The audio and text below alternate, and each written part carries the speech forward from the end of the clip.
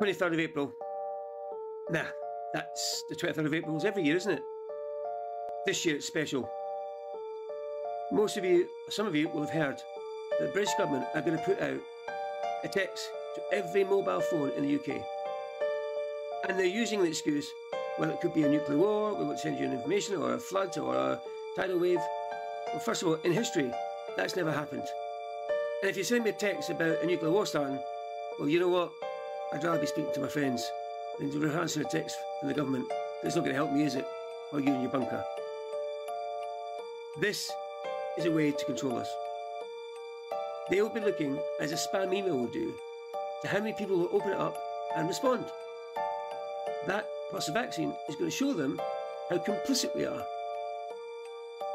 You, me, and everybody else needs to not comply. You need to tell 10 people to tell 10 to tell 10. We need to get this message. If people do not understand by now what's happening, then we're in deep shit. Do not comply. Switch your phone off that day. Sorry TikTok, sorry social media, sorry my friends. What did we do without telephones all those years ago? You know what? We did something else more interesting. This is a communication tool to help us at the moment. We had a television programme in the UK when I was a kid called Switch Off Your Television and Do Something Less Boring Instead.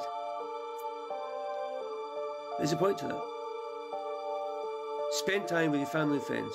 Switch your phone off on the 23rd of April. Make it a day of action, not a day of complicit complying to their instructions. And tell the government to fuck right off. Because we're not accepting it anymore. Time to get angry. If you're not angry, then we have no hope.